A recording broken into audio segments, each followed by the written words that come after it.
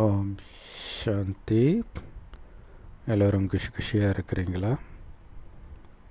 நான்கு பத்து ரெண்டாயிரத்தி இருபத்தி நான்கு. சாக்கார் முரளி பாப்தாதா சொல்கிறாங்க இனிமையான குழந்தைகளே எந்த அளவுக்கு பாபாவை அன்பாக நினைவு பண்ணுறீங்களோ அந்த அளவுக்கு ஆசீர்வாதம் கிடைச்சிக்கிட்டே இருக்கும். எப்படி? ஏன்னா பாபாவை அன்பாக நினைக்கும்போது உங்களுடைய அசுர குணங்கள்லாம் எங்கே போச்சுனே தெரியாது. அப்போ உங்கள் தொடர்பில் யார் வந்தாலும் அதே ஆனந்தத்தோடு பேசுவீங்க. அன்போடு பேசுவீங்க. நினைவு ரொம்ப முக்கியம். ரொம்ப ரொம்ப முக்கியம். ஸோ பாபா நினைவில் ஒருத்தர் கூட பேசினாலே அந்தந்த நேரத்துக்கு என்னென்ன ஞானத்தை பிரயோகப்படுத்தணும்னு உங்களுக்கு ஞாபகம் வந்துடும். ஸோ ஞானத்தோட ஒரு பாபா நினைவோட ஒரு ஞான பாயிண்ட்டையும் வச்சுக்கணும். இல்லாட்டினா பாபா நினைவு எப்போ போச்சுன்னு உங்களுக்கு தெரியாது. கூடவே பாபா நினைவும் இருக்கணும். அப்போ எல்லாரோடவும் நீங்கள் நல்லா பேசுவீங்க. அகங்காரம் இல்லாமல் நடந்துக்குவீங்க. இது அவங்களுடைய ஆசீர்வாதத்தை சம்பாதிக்க உதவும். அதே மாதிரி உங்களுடைய பாவங்களும் அழிஞ்சிக்கிட்டே இருக்கும். ஏன்னா உங்களுடைய பாவ குணங்கள் நீங்கிக்கிட்டே இருக்குது இல்லையா? கேள்வி.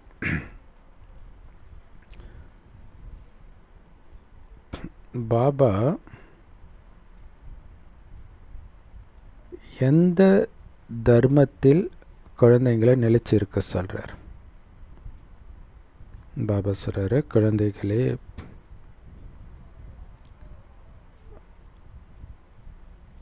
ஆத்ம தர்மத்தில் நிலைத்திருங்கள். இல்லையா? உடலற்ற ஆத்மா நிராகார தர்மம். உடல்னாலே அகங்காரம் வந்துடும் காமம் வந்துடும். கோபம் பற்று பேராசை அகங்காரம் எல்லாம் வந்துடும் அதனால தான் உடம்பை பார்க்காதீங்கன்றார். உடம்பை பார்த்தாலே விஷம் வந்துடும்ன்றார். இல்லையா? பொண்ணை பார்த்தா காமம் வரும் குழந்தைய பார்த்தா பற்று வரும் பணக்காரனை பார்த்தா பேராசை வரும். உங்களை டென்ஷன் படுத்தணும்னு பார்த்தா அகங்காரம் வரும். வெறும் ஆத்மாவை பாரு. அதோடைய நடிப்பு அது நடிக்குதுன்னு பாரு. ஒன்றும் வராது. ஸோ அதுக்கு தான் நிராகார நிலையில் நிலைத்திருங்கள். அதுதான் உங்களுடைய சுய தர்மம். இல்லையா? எதுவுமே உங்களோடது கிடையாது. எப்போவுமே இருக்கிறது நீங்கள் மட்டும்தான். அதாவது ஆத்மா மட்டும்தான். குட்டி புள்ளி அதுக்கு எதுக்கு அகங்காரம்? ஸோ பாபா சொல்கிறாரு உடலின் தர்மத்தில் நிலைக்காதீங்க. உடம்பை உடச்சிக்கிட்டே இருக்கணும். ம மயான கொள்ளை அதில் பார்த்திங்கன்னா கடைசியில் அம்மனுடைய உடம்பு வந்து மண்ணிலே செஞ்சு வச்சுருப்பாங்க. மண்ணில் படுத்துட்டு இருக்கிற மாதிரி இருக்கும். அதை ஏறி மிதிப்பாங்க எல்லாத்தையும்.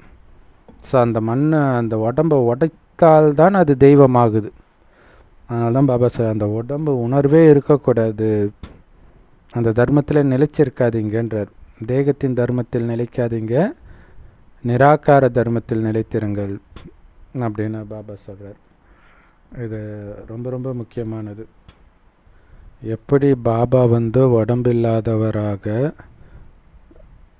இருக்கிறாரோ அதே மாதிரி குழந்தைகளாகிய நீங்களும் உடலற்றவர்கள் தான் பிறகு தான் உடலில் எடுக்கிறீங்க.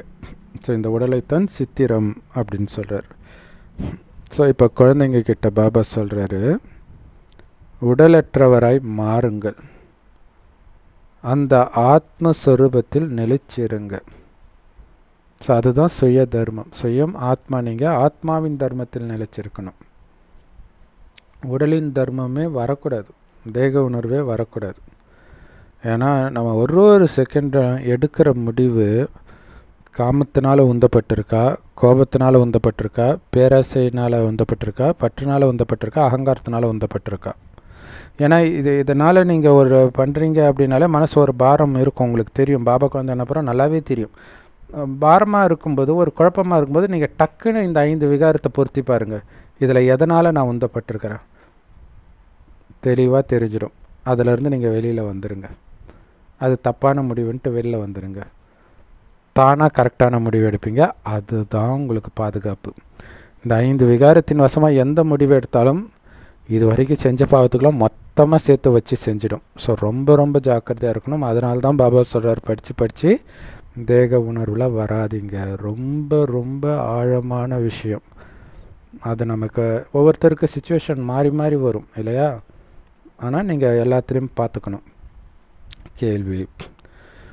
ஸோ இந்த நாடகத்தில் பாபா எதுக்கு கட்டுப்பட்டு இருக்கிறார் குழந்தைங்களை தூய்மையாக்குறதுக்கு கட்டுப்பட்டு இருக்கிறார் அதுக்கு இந்த மிகவும் மங்களகரமான சங்கமகத்தில் பாபா வரவேண்டி இருக்குது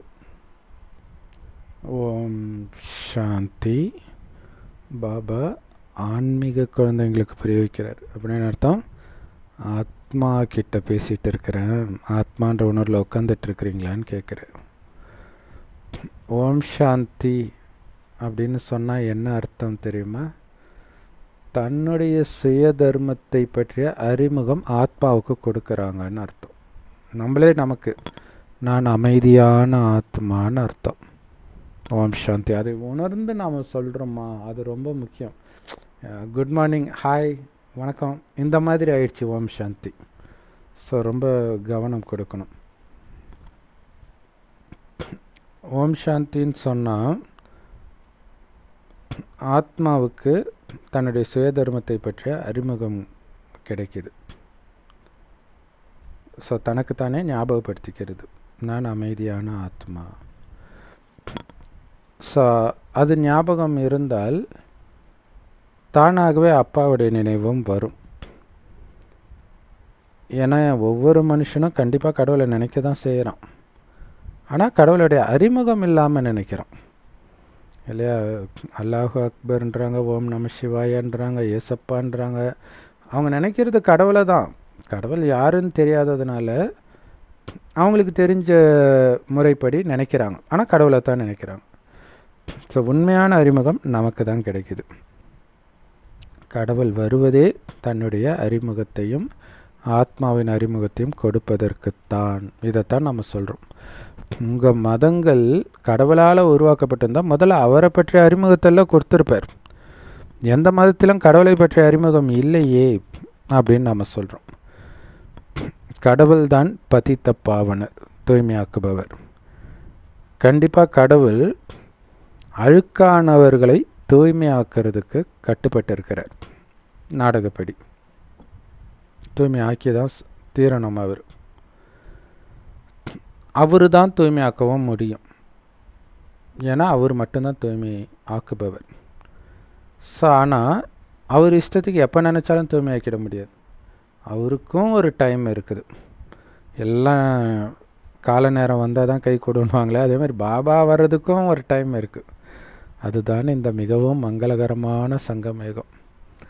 ஆனால் இப்போ கஷ்டப்படுறது? நம்மளுடைய திமிரு.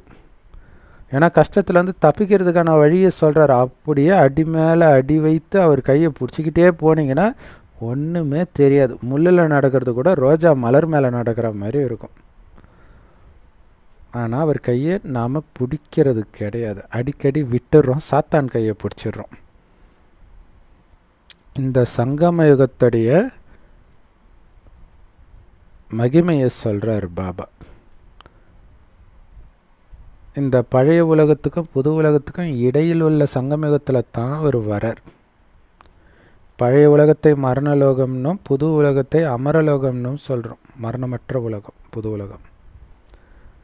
ஸோ இந்த மரணலோகத்தில் ஆயுள் ரொம்ப கம்மியாக இருக்குது. திடீர் திடீர்னு மரணம் நடக்குது. இல்லையா உட்காந்துன்னு இருக்கிறவன் திடீர்னு இறக்குறான். இது இல்லாமல் ஆக்சிடெண்ட்டு இப்போ தாய்லாண்டில் சின்ன குழந்தைங்க டூரு போகும்போது அப்படியே பஸ்ஸு பற்றி எரியுது. ஃபுல்லாக காலி. எல்லாம் கருகிட்டாங்க. ஸோ அது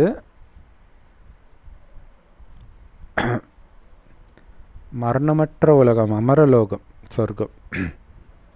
அங்கே திடீர் மரணமே இருக்காது. ஏன் இருக்காது? ஏன்னா அவங்க தூய்மையாக இருக்கிறாங்க. அப்போ அப்போ தூய்மைக்கும் ஆயுளுக்கும் நேரடி தொடர்பு இருக்கு பாருங்க. தூய்மை இல்லாததுனால தான் கலப்படமானவர்களாக ஆகிட்டாங்க மனிதர்கள். அதனால் அவங்களுடைய ஆயுளும் குறைஞ்சிடுச்சு அவங்களுடைய சக்தியும் குறையுது.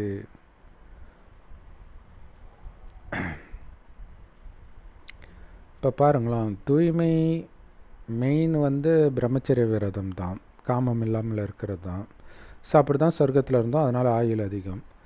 ஆனால் எப்போ அழுக்கு சேருதோ அப்போ கலப்படம் ஆகுது இல்லையா? இப்போ கடவுள் ஃபஸ்ட்டு கடவுளை நினைக்கிறோம். அடுத்தது தேவதைகளை நினைக்கிறோம். இதெல்லாம் வேறு. இன்னொரு விஷயம் வந்து மனைவியை காப்பாற்றணும் குழந்தை காப்பாற்றணும் அப்போ இவங்களையும் சேர்த்து நினைக்கிறீங்க. இதில் ரெண்டு பொண்டாட்டி மூணு பொண்டாட்டி நிறைய கலை தொடர்புலாம் இருந்தால் எவ்வளவு ஆத்ம சக்தி இழக்கும் எவ்வளோ ஆயுள் குறையும்னு யோசிச்சு பாருங்கள் ஸோ ரொம்ப ரொம்ப ஜாக்கிரதையாக இருக்கணும். ஸோ இதனால் ஆத்மாவுடைய சக்தி குறையுது. தங்க யுகத்தில் தூய்மையாக இருக்கிற காரணத்தினால தான் கலப்படமற்றவர்களாக அதிக சக்தி நிரம்பியவர்களாக இருந்தீங்க. சக்தி இல்லாமல் ராஜ்யத்தை அடைய முடியுமா? எப்படி அடைய முடியும்? அந்த சக்தி எப்படி கிடைச்சது? கண்டிப்பாக அவங்க பாபா கிட்ட இருந்து ஆசீர்வாதம் அடைஞ்சிருப்பாங்க. எப்படி பாபா கிட்ட இருந்து ஆசீர்வாதம் கிடைக்கும்? அவர் நினச்ச மாதிரி நடந்தால் தானே ஆசீர்வாதம் கிடைக்கும்? ஸோ அப்படி தான் ஆசீர்வாதம் வாங்கினாங்க. பாபா சொன்னதை அப்படியே ஃபாலோ பண்ணாங்க. மெயின் என்னதை? அவரை நினச்சிக்கிட்டே இருக்கணும். பாபா சர்வ சக்திவான் எப்படி அந்த சர்வசக்திவான் கிட்ட ஆசீர்வாதம் வாங்கினாங்க? பாபா சொல்கிறாரு என்னை நினைவு செய்யுங்க. அப்போ யாரை அதிகமாக நினைத்தார்களோ அவங்க கண்டிப்பாக ஆசீர்வாதம் அடைஞ்சிருப்பாங்க. இவ்வளோதான் பாபா என்ன நம்மளை மலையை தூக்க சொன்னார்? என்னை நினக்குழந்தன்றார். நீ என்ன வேலை செய்கிறியோ என்னை நினைவு செய்து கொண்டே அந்த வேலையை செய். இப்போ அவர் நினைவு கட்டாகாமல் இருந்தால் ஆசீர்வாதம் இருந்துக்கிட்டே இருக்கும். மனம் பாரமாகாமல் இருந்துக்கிட்டே இருக்கும். ரொம்ப ரொம்ப முக்கியமானது. ஸோ ஆசீர்வாதம் கேட்டாலே கிடைக்கிறது கிடையாது. அதுக்கு நீங்கள் முயற்சி பண்ணணும். எனக்கு ஆசீர்வாதம் கொடுங்கன்னா கொடுத்துருவாங்களா? இல்லையா? ஒருத்தர் மனசு பிடிச்ச மாதிரி நடந்தால்தான் ஆசீர்வாதம் கிடைக்கும். ஸோ எந்த அளவுக்கு நீங்கள் பாபாவை நினைக்கிறீங்களோ அந்த அளவுக்கு ஆசீர்வாதம் பாபா கிட்ட மட்டும் இல்லை எல்லார்கிட்ட இருந்தும் அடைவீங்க. அந்த அளவுக்கு உயர்ந்த பதவியும் கிடைக்கும். இல்லையா? பாபா நினைவில் இருந்தாலே உங்களுடைய குணமே சூப்பராக இருக்கும். நினைவு இல்லை அப்படின்னா உங்களுக்கு ஆசீர்வாதமே கிடைக்காது. லௌகீக தந்தை எப்போவுமே தன்னுடைய குழந்தையை பார்த்து என்னை நினைங்கன்னு சொல்ல மாட்டார். ஏன்னா குழந்தை பருவத்திலேருந்து குழந்தை தானாகவே அம்மா அப்பான்னு சொல்லிடும். அதோடைய அங்கங்கள் ரொம்ப சின்னதாக இருக் இருக்கும். அப்போவே அது அம்மா அம்மா அம்மா அப்பே அப்பே அப்பேன்னு தான் சொல்லிகிட்டு இருக்கும். ஆனால் பெருசானதுக்கப்புறம் அம்மா அப்பான்னு சொல்லாது. ஆனால் அவங்களுடைய புத்தியில் இவங்க என்னோடய அப்பா அம்மான்னு இருக்கும். அவங்கக்கிட்ட இருந்து தான் நம்ம ஆஸ்தி அடைய போகிறோன்னு இருக்கும். அதனால் அவங்க வாயை திறந்து இது எங்கள் அப்பா அம்மா. இது என்னுடைய ஆஸ்தி அப்படின்னு சொல்லிட்டு இருக்க மாட்டாங்க. ஆனால் நினைப்பாங்க. இல்லையா?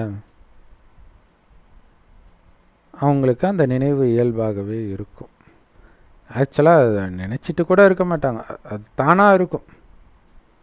ஆனால் இங்கே பாபாவுடைய நினைவு இருக்க மாட்டேங்குது. எப்படி தெரியும்? அதனால தான் அழுக்கான காரியத்தை பண்ணுறீங்க அப்படின்னாலே பாபா நினைவு இல்லைன்னு தானே அர்த்தம். பாபா சொல்கிறாரு இங்கே தான் சொல்கிறார் பாபா. இந்த ஆத்மாக்களின் தந்தை தான் சொல்கிறார் என்னை நினைவு செய்யுங்க ஆஸ்தியை நினைவு செய்யுங்கன்ட்டு.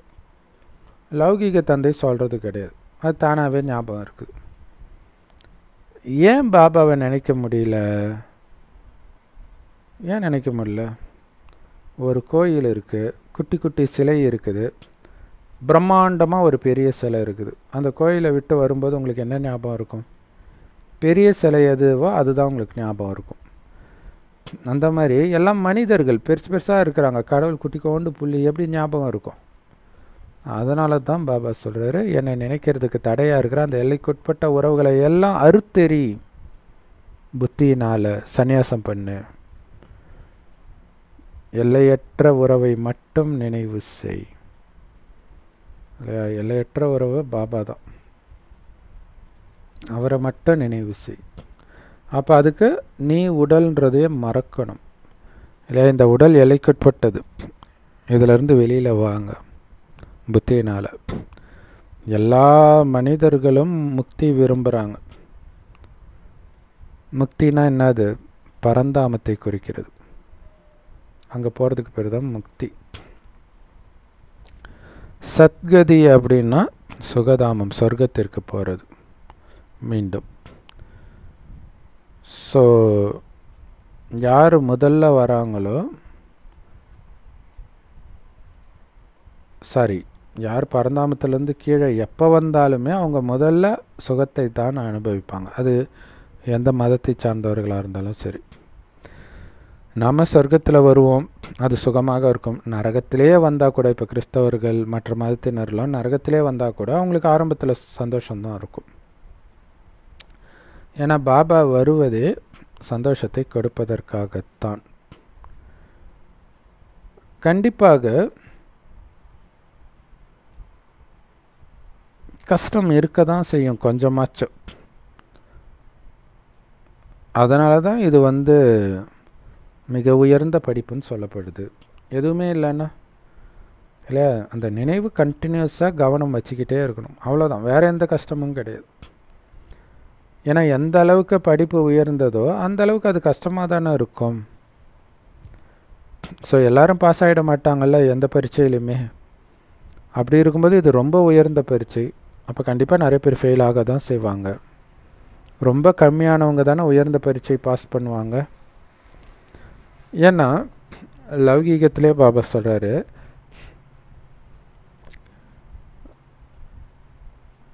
யாராவது ஒரு பெரிய பரீட்சை யூபிஎஸ்சி அந்த மாதிரி தேர்வு பாஸ் ஆகிட்டாங்கன்னா அரசாங்கம் அவங்களுக்கு அதிக சம்பளம் கொடுக்கணும். அப்போ அதிக சம்பளம் கொடுக்கணும்னா அப்போ கம்மியான பேர் தானே பாஸ் ஆவாங்க. கம்மியான பேருக்கு தானே வேலை கொடுக்க முடியும். சில மாணவர்கள் உயர்ந்த படிப்பு உயர்ந்த எக்ஸாம் பாஸ் ஆகிட்டு கூட வேலை இல்லாமல் உட்காந்துட்டு இருக்கிறாங்க. நம்ம கேள்விப்படுவோம் இல்லையா? பெரிய பெரிய படிப்புலாம் படிச்சுட்டு பிச்சை எடுக்கிறாரு. அல்லது மூட்டை தூக்குறாரு. இந்த மாதிரிலாம் நம்ம கேள்விப்படுறோம். நிறையா வருது இப்போ. நியூஸில் யூடியூப் சேனல்ஸ்லலாம் நம்ம நிறைய பார்க்குறோம். இதை படிச்சுட்டா இப்படி பண்ணுறாரு அப்படின்னு ரோட்டோரமாக கடை போட்டிருப்பாரு. ஸோ ஏன் உயர்ந்த படிப்பை படிச்சுட்டு வேலை இல்லாமல் இருக்கிறாங்க? ஏன்னா அவங்களுக்கு அதிக சேலரி கொடுக்க அரசாங்கத்துக்கிட்ட போதுமா போதிய காசு கிடையாது. இன்னொரு விஷயம் என்னென்னா இந்த உடல் உணர்வே ஒரு பெரிய பிரச்சனை. நிறைய பேர் ஐடியிலேருந்து பத்து பதினஞ்சு வருஷத்தில் தூக்கிடுவாங்க. ஏன்னா சம்பளம் அதிகமாக கொடுக்கணும்ல. அதனால் என்ன பண்ணுவாங்க? புதுசாக போடுவாங்க. அது என்ன ட்ரைனிங் கொடுத்துக்கலாம்? ஆரம்பத்தில் எட்டாயிரம் பத்தாயிரம் கொடுத்தாலே போதும். பயங்கரமாக உழைப்பாங்க. அப்போ இந்த அதிகமாக லட்சக்கணக்கில் சேலரி வாங்கினவங்களை திடீர்னு வேலையை விட்டு தூக்கின உடனே அவங்களுக்கு பைத்தியம் பிடிச்ச மாதிரி இருக்கும். ஏன்னா அவங்க அந்த சம்பளத்துக்கு பழகிட்டதுனால அதுக்கேற்ற மாதிரி செலவெல்லாம் வச்சுக்குவாங்க. கடன்லாம் வாங்கிடுவாங்க. இப்போ கம்மியான சம்பளத்துக்கு அவங்களுக்கு அவங்க வேலைக்கு போக மாட்டாங்க. அதான் பிரச்சனை. அதுவும் ஒரு உடல் உணர்வு தானே. இல்லையா? அது இல்லாமல் விலைவாசியும் ஏறிட்டும் இருக்குது. ஸோ அதுக்கு தான் ஆத்மனூரில் இருக்கிறவங்களுக்கு பிரச்சனை இல்லை. உறவுகளே இல்லை கல்யாணமே இல்லை குழந்தையே இல்லைன்னா எந்த பிரச்சனையும் இல்லை. எவ்வளோ கம்மியாக சம்பளம் வாங்கினாலும் அவங்க பணக்காரங்க தான். ஆனால் கல்யாணம் பண்ணி குழந்தை எல்லாம் பெற்றுக்கிட்டிங்கன்னா எவ்வளோ சம்பளம் வாங்கினாலும் நீங்கள் பிச்சைக்காரங்க தான். சேர்த்தே வைக்க முடியாது. இங்கே பாபா சொல்கிறாரு எந்த அளவுக்கு நீங்கள் உயர்ந்த படிப்பு சரி எந்த அளவுக்கு அதிகமாக படிக்கிறீங்களோ அந்த அளவுக்கு உயர்ந்த பதவியை அடைவீங்க. எல்லோரும் ராஜாவாகவோ அல்லது பணக்காரராகவோ ஆகிட முடியாது தானே? ஸோ எல்லாமே நீங்கள் படிக்கிறத பொறுத்து தான் இருக்குது. பக்தி பண்ணுறதுக்கு பேர் படிப்பு கிடையாது. ஆன்மீக தந்தை நடத்துகிற இந்த ஞானம்தான் ஆன்மீக ஞானம். இதுதான் ஆன்மீகமானது. இதுதான் உயர்ந்த படிப்பு. சில குழந்தைங்களுக்கு இந்த படிப்பு ரொம்ப கஷ்டமாக இருக்குது. ஏன் கஷ்டமாக இருக்குது? ஏன்னா பாபாவை நினைக்கிறது இல்லை பாபாவை நினச்சா தானே இந்த ஞானம் தாரணையே ஆகும். ஸோ அதனால் அவங்களுக்கு இந்த படிப்பு ரொம்ப கஷ்டமாக இருக்குது. பாபாவை நினைக்கிறது இல்லை தன்னுடைய நடத்தையை மாற்றிக்கிறது இல்லை யாருக்கு நல்ல நினைவு இருக்குதோ பாபா நினைவு அவங்களுடைய நடத்தை அற்புதமானதாக மாறும். அவங்க ரொம்ப ரொம்ப இனிமையானவர்களாக சேவாதாரிகளாக மாறுவாங்க. சேவை செய்யக்கூடியவர்களாக.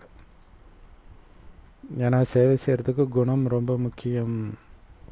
சிடுமூஞ்சியாட்டம் இருந்தால் யாரும் சேவை செய்ய வரமாட்டாங்க. ஸோ அவங்களுடைய கேரக்டர் நல்லா இல்லைன்னா யாருக்கும் அவங்கள பிடிக்காது. அப்புறம் எப்படி சேவை செய்வாங்க? அவங்க கூட சேவை செய்கிறதுக்கு யார் வருவா? ஸோ அப்போ ஃபெயில் ஆகுறாங்க. இந்த படிப்பில் அப்படின்னாலே அவங்க நடத்தையில் ஏதோ தப்பு கண்டிப்பாக இருக்குது. லக்ஷ்மி நாராயணனுடைய நடத்தை அவ்வளோ அற்புதமாக இருக்கும். ராமர் வந்து இரண்டு கலைகள் குறைந்தவராக இருக்கிறாரு.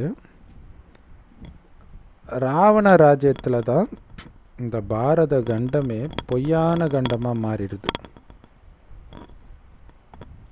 ஆனால் சத்திய கண்டத்தில் சத்தியுகத்தில் இம்மி அளவு கூட பொய் இருக்காது. ஆனால் இந்த ராவண ராஜ்யத்தில் திரும்புகிற பக்கமெல்லாம் பொய் தான் பொய்யான மனிதர்களுக்கு தெய்வீக குணம் நிரம்பியவர்கள் சொல்ல முடியாது.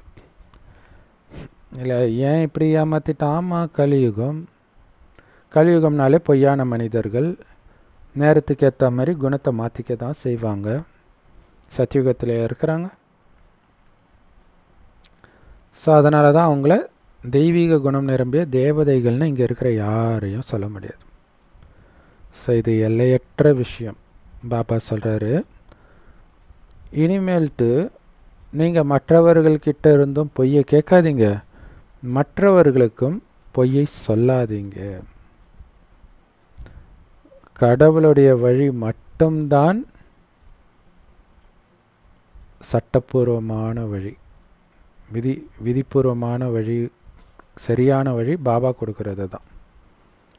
மனித வழியெல்லாம் சட்டத்திற்கு புறம்பான வழி. இல்லையா ஸ்ரீமத் சொல்கிறீங்க அது ஸ்ரீமத்தை மீறியது. மனித வழி தவறான வழி சட்டத்திற்கு புறம்பான வழி. தானாக அவங்க மனசில் தோன்றது எல்லாமே தப்பாக தான் இருக்கும். இல்லையா அதனால தான் இது பாபா சொல்கிற வழி தானா பாபா சொல்கிற வழி தானா அப்படின்னு ஒரு ஒரு செகண்டை செக் பண்ணி செக் பண்ணி எடுத்து வைக்கணும். இல்லைன்னா மாட்டிக்குவீங்க. ஏன்னா நம்ம எவ்வளோ பாவம் செஞ்சுருக்குறோன்னு தெரியாது.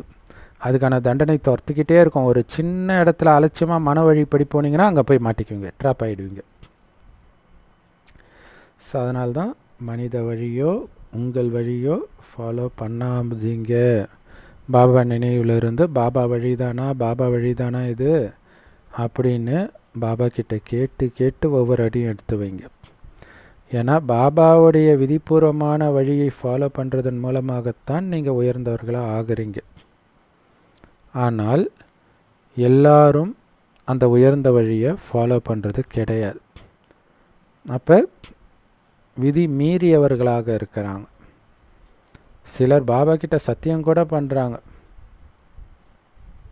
என்ன பண்ணுறாங்க அப்படின்னா பாபா இந்த நாள் வரைக்கும் நாங்கள் விதிக்கு புறம்பான காரியம்தான் பண்ணோம். இனிமேல்ட்டு அதை பண்ண மாட்டோம் பாபான்றாங்க. அது என்ன விதிக்கு புறம்பான காரியம்? பாபா சொல்கிறார் இருக்கிறதுலே பயங்கரமான விதிக்கு புறம்பான காரியமே இந்த காம விகாரம்தான் இந்த தேக உணர்வுன்ற பூதம் எல்லாருக்குள்ளேயும் இருக்குது. மாயின் வசத்தில் உள்ள மனிதர்களிடம் தேக உணர்வு இருக்கத்தான் செய்யும். இல்லையா? எல்லாம் மாயின் வசப்படி தானே இருக்கிறாங்க. கலியுகத்தில் பிறந்தாலே உங்களுக்குள்ளே இருக்கிற மாயை தூண்டுற மாதிரி ஏதோ ஒன்று நடந்தே தீரும். நம்ம புரிஞ்சுக்கணும். நம்ம கேரக்டர் கெடுக்கிறதுக்காக நம்ம மூஞ்சில் சாணி அள்ளி தெளிக்கிறதுக்காக வந்திருக்குது மாயா. அதனால் ஞான மழையில் குளிச்சுக்கிட்டே இருக்கணும். இல்லைன்னா மாட்டிக்கும் ரொம்ப ஜாக்கிரதையாக இருக்கணும். ஸோ சில சமயம் உங்களால் முரளி கூட படிக்கிற மூடு இல்லை அந்த மாதிரி மாய போச்சுன்னா ராமாயணம் பாருங்கள் டக்குன்னு சரியாயிடும். ஆச்சரியமாக இருக்கும்.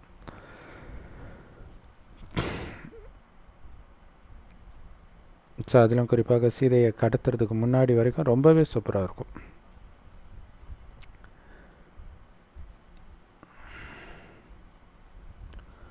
பாபாவோ நிராகாரர் உடலற்றவர். அதனால் குழந்தை அவருடைய குழந்தைங்கன்னா நீங்களும் அப்படி தானே இருப்பீங்க? ஸோ இதை புரிஞ்சிக்கணும். ஆத்மாக்களாகிய நாமும் உடலற்றவர்கள். பிறகு உடலில் பிரவேசிக்கிறோம். பாபா மீண்டும் சொல்கிறாரு நிராகாரராகுங்கள். உங்களுடைய சுய தர்மத்தில் நிலைத்திருங்கள். அதாவது ஆத்மாவின் தர்மத்தில் நிலைத்திருங்கள். இந்த உடலின் தர்மத்தில் நிலைத்திருக்காதீர்கள். நான் ஆண் நான் பெண் நான் பணக்காரன் ஹிந்து முஸ்லீம் கிறிஸ்டின் இதெல்லாம் உடலின் தர்மங்கள். ஸோ நிராகார தர்மம் ஆத்மான்ற தர்மத்தில் நிலைத்திருங்கள். தேக உணர்வுடையவர் ஆகாதீங்க. பாபா உங்களுக்கு எவ்வளவோ புரிய வைக்கிறார். ஸோ நினைவு ரொம்ப ரொம்ப ரொம்ப அதிகமாக தேவைப்படுதுன்ற உடல் உணர்வுலேருந்து வெளில வர்றது சாதாரண விஷயம் இல்லை. அந்த அளவுக்கு நீங்கள் பாபா நினைவிலே இருக்க இருக்க தான் இந்த தேக உணர்வு உடையும். ஸோ எந்த அளவுக்கு பாபாவை நினைக்கிறீங்களோ ஆத்மான்னு உணர்ந்து அந்த அளவுக்கு உடல் உணர்வு உடையும்.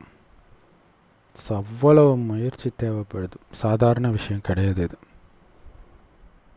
அதனால தான் பாபா சொல்கிறார் ஆத்மான்னு உணர்ந்து என்னை நினைவு பண்ணிக்கிட்டே இருங்க.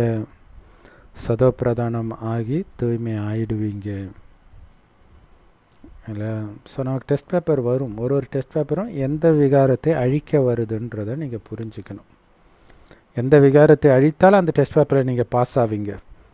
அந்த விகாரத்தை அழிக்கிறதுக்கு வருது. அதற்கான வாய்ப்பு கொடுக்குது. நீங்கள் அழிக்கிறீங்களா? அதில் விழறீங்களா? அது உங்கள் கையில் இருக்குது. நிறைய தண்டனை நீங்கள் அழுக்காகிறதுனால உங்களுக்கு கிடைக்குது.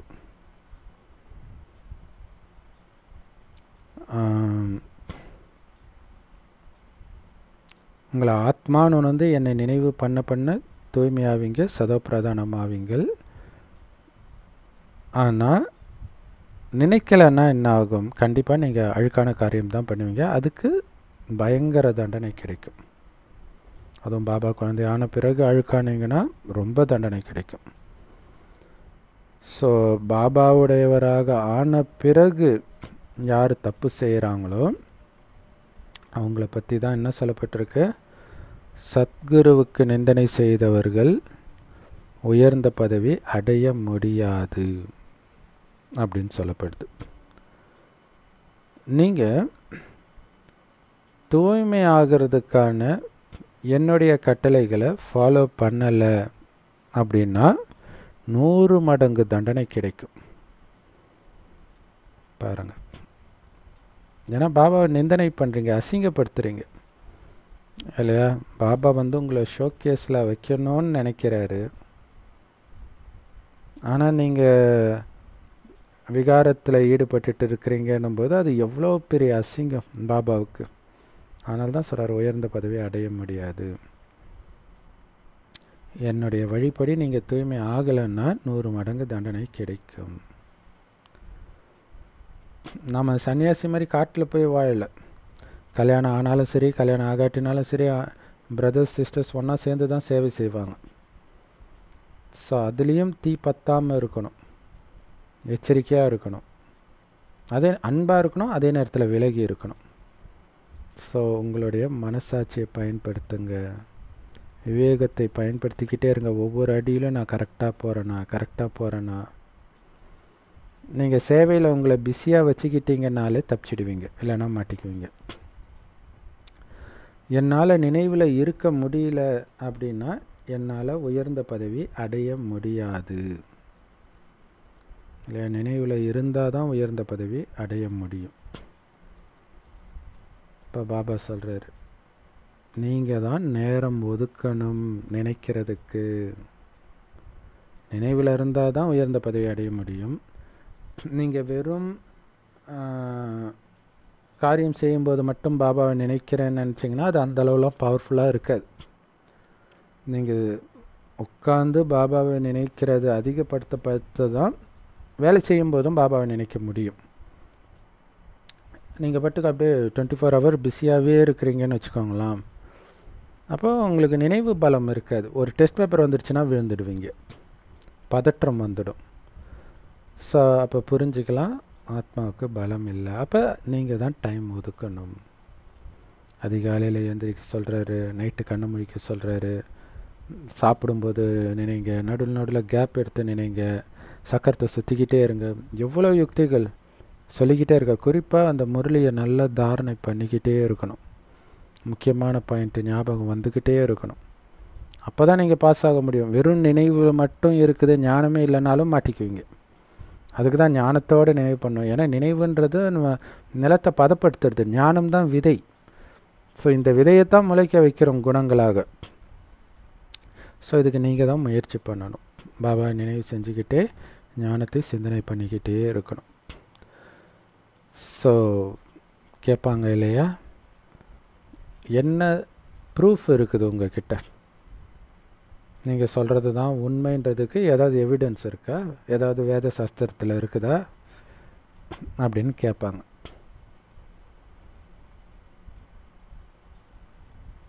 அப்படி கேட்கும்போது நீங்கள் சொல்லுங்கள்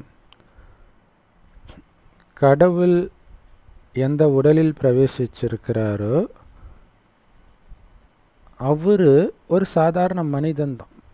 பிரஜாபிதா பிரம்மா அப்படின்னு அவர் பேர் வைக்கிறார் கடவுள் பேர் வைக்கிறார். ஏன்னா மனித உடலுக்கு வந்து பேர் கொடுக்கப்படும். ஆனால் அவர் உடம்புல வந்திருக்கிறார் பார்த்தீங்களா சிவபாபா? அவர் மனிதனும் கிடையாது தேவதையும் கிடையாது. அவரை பரமாத்மான்னு சொல்கிறோம் அவர் அழுக்காகிறதும் இல்லை அதுக்கப்புறம் தூய்மையாக கஷ்டப்படுறதும் கிடையாது எப்போவுமே தூய்மையாக இருக்கிற என் ஒருவனை நினைவு செய்தால் உங்களுடைய பாவங்கள் எல்லாம் அழியும்னு சொல்கிறார் நீங்கள் சதோ பிரதானமாக தான் ஆரம்பத்தில் இருந்தீங்க மறுஜன்மம் எடுத்து எடுத்து தம பிரதானம் ஆயிட்டீங்க மீண்டும் சதோ பிரதானம் ஆகிறதுக்கு என்னை மட்டும் நினைவு பண்ணிக்கிட்டே இருங்கன்னு பாபா சொல்கிறார் அப்படின்னு சொல்லிட்டு இந்த ஞானம் எங்கேயாவது இருக்குதான்னு கேளுங்க. எந்த சத் சங்கத்திலேயோ எந்த வேதத்திலேயோ இருக்கான்னு கேளுங்க. இதை மனிதர்கள் உருவாக்க முடியுமான்னு கேளுங்க. இல்லையா? கடவுள் சுயம்பு அவர் எந்த வேதத்தையும் படிச்சுட்டு வந்து சொல்ல மாட்டார். என்னை நினைத்தால் பாவம் அழியும். அவர் இப்படி இருக்கிறாரு அப்படின்னு எங்கேயாவது சொல்லியிருக்கிறாங்களா? ஆரம்பத்தில் நாம் தூய்மையாக தான் இருந்தோம். இப்போ தான் தமப்பிரதானம் ஆகிட்டோம் மீண்டும் தூய்மை ஆகிறதுக்கு என்ன நினைங்கன்னு யாராவது சொல்லியிருக்கிறாங்களா எங்கேயாவது? தேவதைகளுடைய தொழில் என்ன? அவங்க கிட்ட போய் கருணையை கொடுத்தாயே அப்படின்னு கேட்குறாங்க அதான். லவ் யூ பாபா அதை பார்க்கும்போது உங்களுக்கு சிரிப்பு வருது. ஏன்னா உங்கள் நிலமை என்னவாக இருக்குதுன்னு உங்களுக்கு தெரியுது. ஏன்னா நீங்கள் தானே அந்த தேவதையாக இருந்தீங்க. இப்போ நீங்களே என்ன நிலமையில் இருக்கிறீங்கன்னு உங்களுக்கு தெரியுது. இல்லையா? அவங்க கேட்கும்போது நீங்கள் எப்படி இருந்தீங்க? அப்படின்ட்டு.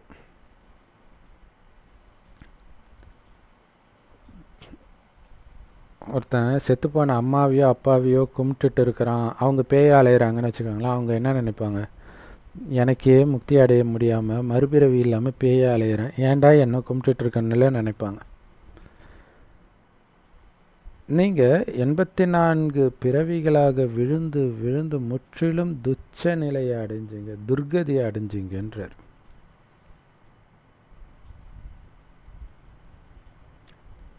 பாபா சொல்கிறாரு மிக மிக இனிமையான குழந்தைகளே நீங்கள் தெய்வீக வம்சத்தை சார்ந்தவர்களாக இருந்தீங்க. தேவதைகளின் வம்சம். இப்போ உங்களுடைய நடத்தையை பாருங்கள் இப்போ உங்களால் தேவதையாக ஆக முடியுமான்னு பாருங்கள் இப்போ இருக்கிற நடத்தைக்கு.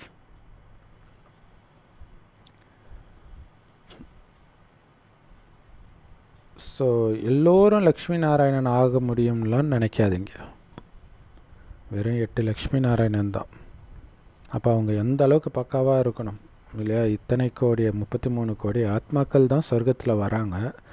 அதில் வெறும் எட்டே பேர் தான் லக்ஷ்மி நாராயணன்னா எப்படி இருக்கும் அவங்க நடத்தை?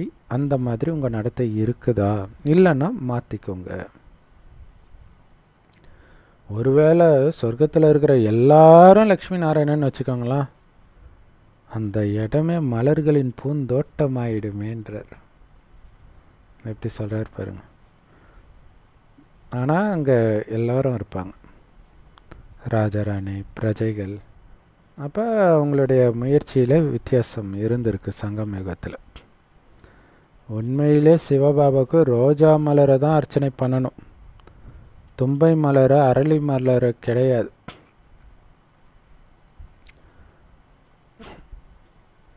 பாபாவுடைய சில குழந்தைகள் ரோஜா மலர் ஆகிறாங்க சிலர் அரளி மலராக அல்லது தும்பை மலராக ஆகிறாங்க.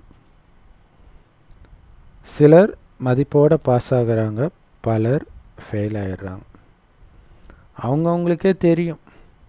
நம்மளாலலாம் ராஜா ஆக முடியாதுன்ட்டு. இல்லையா? என்ன பண்ணுறாங்களோ அதை வச்சு தெரியும்ல ராஜா ஆக முடியுமா முடியாதான்ட்டு.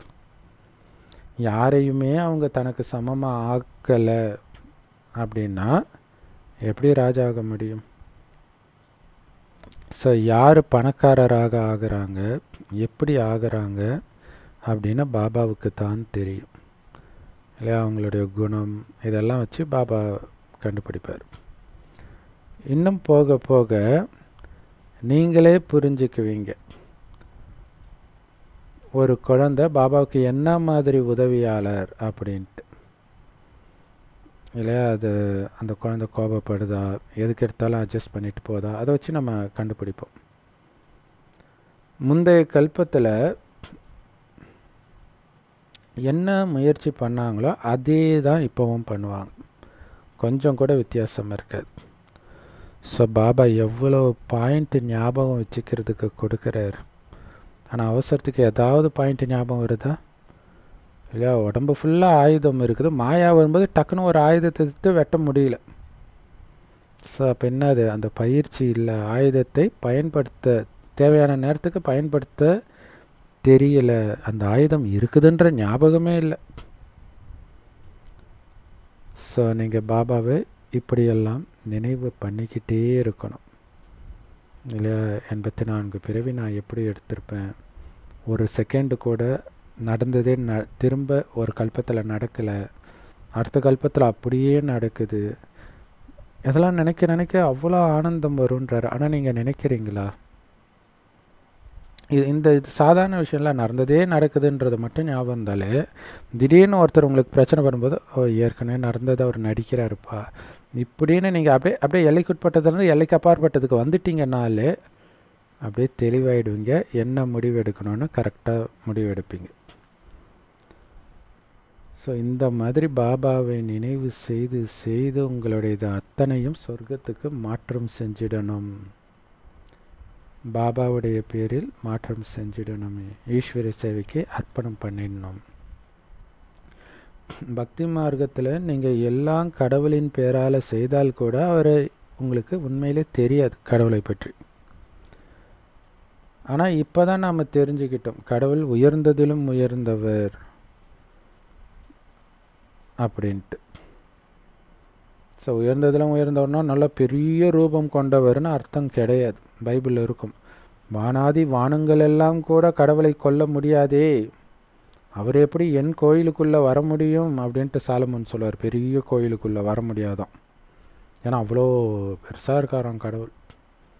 பாபா சொல்கிறார் அப்படிலாம் நான் பெருசாக கிடையாது. அவர் நிராகரர் உடம்பே கிடையாது. வெறும் ஆத்மா ஒரு சின்ன புள்ளி. ஸோ உயர்ந்தவர்ன்றது குணத்திலே தவிர சைஸில் கிடையாது. அதேமாரி சாக்கார மனிதர்களில் உயர்ந்ததிலும் உயர்ந்தவர்கள் இங்கே தான் இருந்தாங்க. லக்ஷ்மி நாராயணன் தான் உயர்ந்ததிலும் உயர்ந்தவர்கள் இல்லையா? அடுத்தது சூக்ம வச வதனவாசிகள் பிரம்மா விஷ்ணு சங்கரரையும் தேவதைன்னு தான் சொல்கிறோம் சூக்ம தேவதைன்னு சொல்லுவோம். பிரம்ம தேவதாய நமக. விஷ்ணு தேவதாய நமக அப்படின்னு சொல்லிட்டு சிவ பரமாத்மாய நமகன்னு சொல்கிறோம் சிவ தேவதாய நமகன்னு சொல்லலை. ஸோ இதிலேருந்து என்ன தெரியுது? சிவன் தான் உயர்ந்தவர்னு தெரியுது. பிரம்மா விஷ்ணு சங்கரரை கடவுள்னு சொல்ல முடியாது. மனிதர்கள் சிவ பரமாத்மாய நமகன்னு தங்கள் வாய் மூலமாக சொல்கிறாங்க அப்படின்னா கடவுள் ஒருவராகத்தானே இருக்க முடியும். அந்த பரமாத்மா ஒருவராகத்தானே இருக்க முடியும். மனிதர்கள் தேவதைகள் முன்னாடி போய் தலை வணங்குறாங்க. இந்த மனித சிருஷ்டியில் மனிதர்கள் மனிதர்கள் தான்.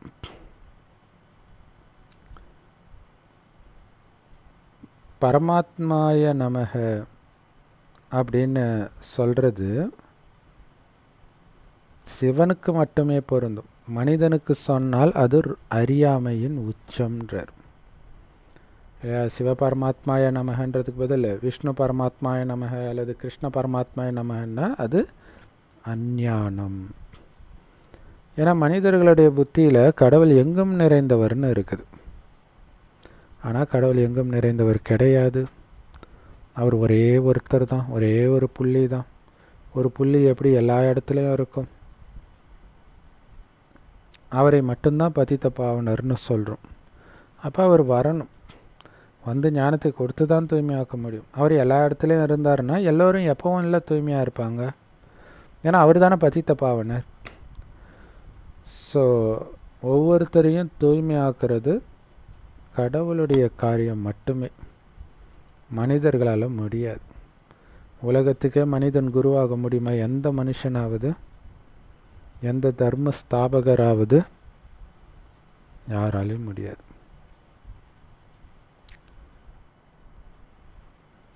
ஸோ குருமார்கள் வந்து தூய்மையாக இருந்தால் கூட கலியுகத்தில் எல்லோரும் காமத்தினால தானே பிறக்கிறாங்க.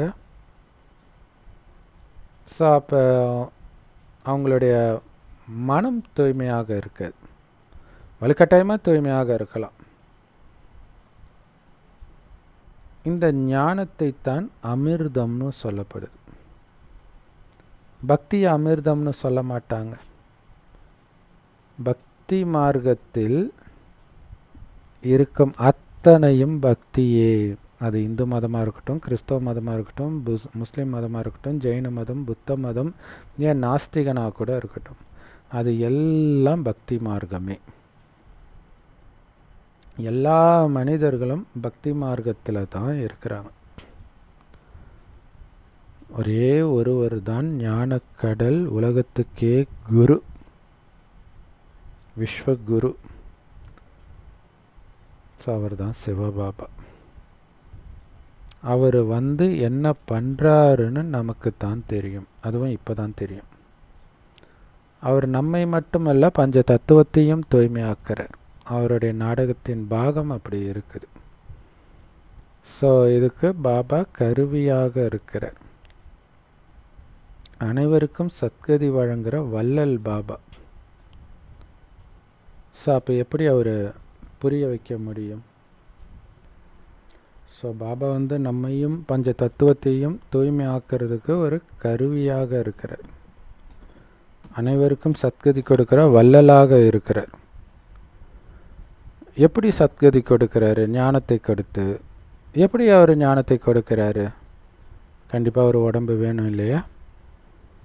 நிறைய மனிதர்கள் இங்கே வராங்க.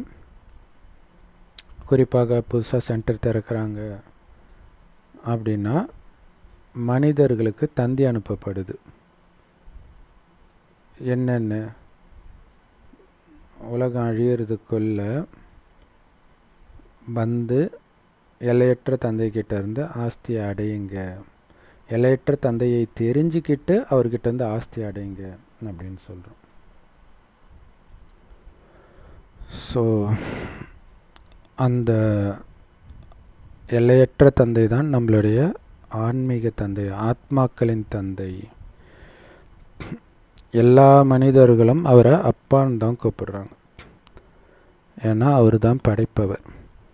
அப்போ கண்டிப்பாக படைப்புக்கு ஆஸ்தியை கொடுப்பார் தானே? படைப்புக்கு ஆஸ்தி படைப்பவர்கிட்ட இருந்து தான் கிடைக்கும். இல்லை குழந்தைக்கு ஆஸ்தி அப்பா கிட்ட இருந்து தானே கிடைக்கும். அப்பாவுடைய படிப்பு தானே குழந்தைங்க. குழந்தையுடைய படைப்பவர் தானே அப்பா. ஆனால் யாருக்கும் இந்த எல்லைக்கு அப்பாற்பட்ட தந்தையை பற்றி தெரியாது. தெரிந்தால் தானே எல்லைக்கு அப்பாற்பட்ட ஆஸ்தி சொர்க்கத்தை அடையிறதுக்கு. என்ன பண்ணுறது அப்பாவை மறக்கிறதும் நாடகத்தில் பதிவாகி இருக்குது. எல்லையற்ற தந்தையோ உயர்ந்ததிலும் உயர்ந்தவர். அவர் உங்களுக்கு எல்லைக்குட்பட்ட ஆஸ்தியை கொடுக்கறது கிடையாது. இதுதான் சூப்பரான விஷயம். எல்லாம் என்ன பண்ணுறாங்க குழந்த பிறக்கலையா? கடவுளை கேட்குறாங்க. கடன் தொல்லையா? கடவுளை கேட்குறாங்க.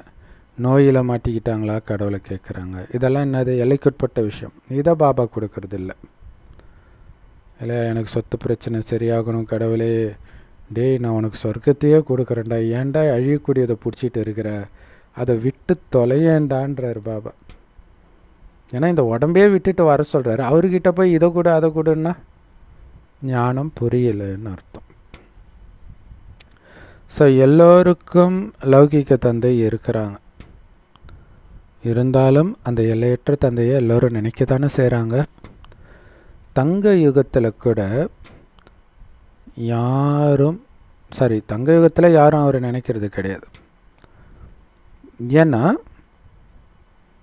எல்லையற்ற சந்தோஷத்தை ஆஸ்தியாக அடைஞ்சிட்டாங்களே. அப்புறம் எதுக்கு அவரை நினைக்கிறோம்? பக்தியில் கொஞ்சம் கொஞ்சமாக அடையணும்னு நினைக்கிறாங்க. ஞானத்தில் மொத்தமாக அடையணும்னு நினைக்கிறாங்க. சொர்க்கத்தில் தான் மொத்தமாக அடைஞ்சாச்சே.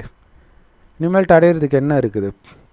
அதனால் அங்கே எதையும் நினைக்கிறது கிடையாது. கடவுளை நினைக்கிறது கிடையாது. இப்போ தான் நீங்கள் கடவுளை கடைசியாக நினைக்க போகிறீங்க இப்போ உருகி உருகி நினைங்கன்னா இதோட ஐயாயிரம் வருஷம் கழித்து தான் வரப்போகிறாருன்னா இது என்னுடைய கடைசி நொடின்ட்டு மம்மா ப்ராக்டிஸ் பண்ணாங்க இல்லையா? அதை விட பவர்ஃபுல் என்ன தெரியுமா? இதுதான் பாபாவுடைய கடைசி நொடின்னு நினைங்க. பாபா விட்டுட்டு போகிறதா நினைங்க. அப்போ எப்படி இருக்கும் நமக்கு? இப்போயே போயிட்டாரா இல்லையான்னு தெரியாது நமக்கு. இல்லையா? பாபா வர்றது இல்லைல்ல ஸோ அதனால் அப்போ எப் ஏதோ ஒரு யுக்தியில் நினைங்க. ஏன்னா ஐயாயிரம் வருஷம் கழிச்சு தான் பார்க்க போகிறீங்க அதுக்கப்புறம் பக்தியில் ஊர்லுவோம் பெறலுவோம் அடகு குத்துவோம் நெருப்பில் நடப்போம் அதெல்லாம் அவர் பார்க்க போகிறது கிடையாது. இப்போ நினைங்க அவருடைய அன்பை இப்போ காட்டுங்க. அவர் போனதுக்கப்புறம் காட்ட போகிறீங்களா ஆத்மாக்கள் தான் அவரை நினைக்குது. பிறகு அதே ஆத்மாக்கள் தான் அவரையும் மறக்குது. தன்னையும் மறக்குது. நாடகத்தையும் மறக்குது. எல்லாத்தையும் மறந்துடுது ஆத்மா. எப்போ? சர்க்கத்துக்கு போன உடனே மறந்துடுது. அதில் நரகத்தில் மாயை நிழல் வேற வந்துடுது. சதோபிரதான புத்தி உடையவர்கள்தான் கண்டிப்பாக மறுஜன்மம் எடுத்து எடுத்து தமோ பிரதான புத்தியுடையவர்களாக மாறியே ஆகணும். தேவதைகள் புது உலகத்தில் சதோப்பிரதானமாக இருந்தாங்க. அப்படின்னு நாம் இப்போ நமக்கு தெரியுது. நாம் தான் அப்படி இருந்தோம் அப்படின்னு. ஆனால் மனிதர்கள் யாருக்கும் தெரியல. நமக்கு மட்டும்தான் இது ஞாபகம் வந்துருக்குது. அப்படி இருந்ததே நான் தான் ஞாபகம் வந்துடுச்சு இப்போ அப்படி ஆக போகிறேன்னு தெரிஞ்சிருச்சு. இப்போவே ஆகிடுங்கன்றார். மற்றவங்களுக்கு தெரியல. அஞ்ஞான உறக்கத்தில் இருக்கிறாங்க. உலகமே சதோ பிரதானமாக தங்க யுகமாக மாறிட்டு இருக்குது.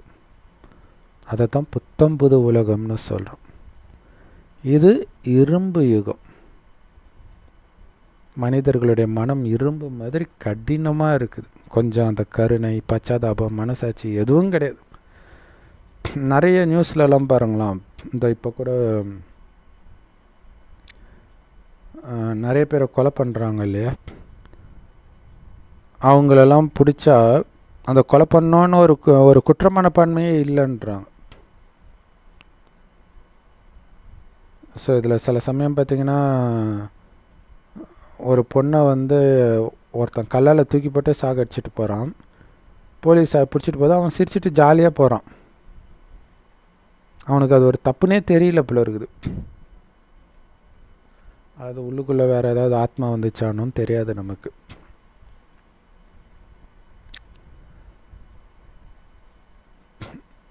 இது இரும்பு யுக உலகமாக இருக்குது.